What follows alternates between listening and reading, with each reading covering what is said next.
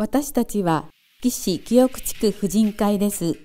私たちが踊っているクッキーダンスは少しゆっくりとした音楽と簡単な振り付けにアレンジしたものを踊っています。また、ボランティア活動で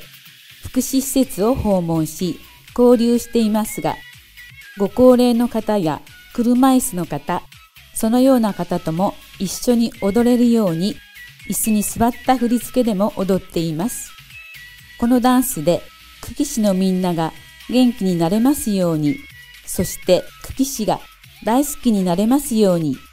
さあ皆さん一緒に笑顔いっぱい楽しく踊ってみましょう。